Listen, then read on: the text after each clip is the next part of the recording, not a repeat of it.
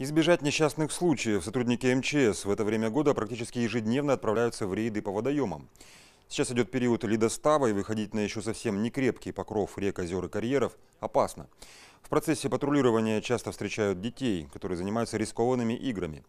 С ребятами на месте проводят беседы, вручают памятки и просят покинуть территорию водоема. Также о правилах безопасности напоминают рыбакам.